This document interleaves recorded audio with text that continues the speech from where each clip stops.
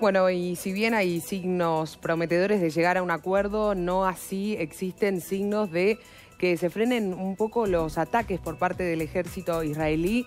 Nos vamos a ir a la región de Cisjordania, esta región ocupada por el ejército de Israel porque se ha llevado adelante un nuevo ataque en Jenin. Esto ha preocupado a la Unión Europea, por supuesto, que ha manifestado, bueno, el alerta que mantienen frente a este nuevo ataque. Ya son 10 muertos los confirmados al momento y hay una enorme cantidad, cantidad de heridos. Fíjense ustedes las imágenes, edificios dañados y un funeral de palestinos muertos durante bueno, este nuevo ataque israelí en Jenin, en la volátil ciudad de Jenin, en la Cisjordania ocupada.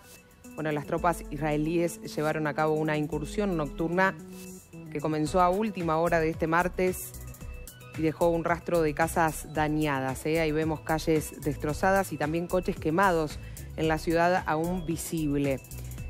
Aún visible hoy, miércoles. Bueno, un militante identificado como Arifa Al-Kadoumi, del brazo armado de la facción Fatah, fue asesinado.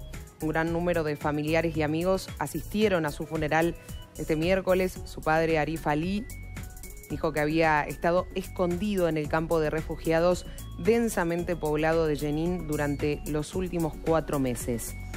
Tenemos que decir que la violencia en Cisjordania ha aumentado durante más de un año y esto es, bueno, justamente debido a las incursiones militares israelíes y los ataques de los colones, de los colones casi a diario, ataques de la mayor envergadura registrada en años ¿eh? en Cisjordania, esta región ocupada que bueno, vuelve a sufrir los ataques por parte de Israel.